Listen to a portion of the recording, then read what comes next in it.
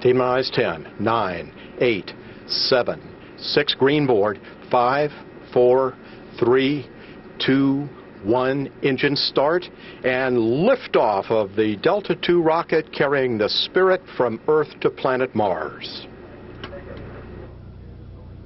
Load relief kick rate is in, vehicles responding. Vehicles recovering very nicely from the liftoff transients.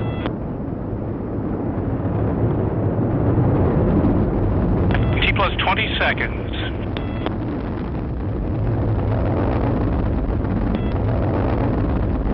Look normal for this phase of the flight. We're approaching Mach 1.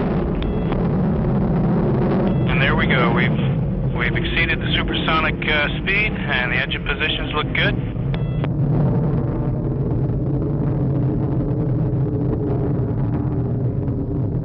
Board video system working perfectly, sending back an uh, immaculate image. We're now passing an altitude of uh, 4 nautical miles with a downrange distance 15 nautical miles and a velocity of just coming up on 2,000 miles per hour. Passing T plus 60 seconds, our solid motors are, have burned out. Look like a nice symmetrical burn there on all six ground start motors. Jettisoned all six solids and we've ignited the other three. All three air starts are up and running. We have burnout of the three air start motors. We're coming up on T plus 130 seconds. And there's jettison. Solid motor jettison. All three have jettison. Nice clean signature there.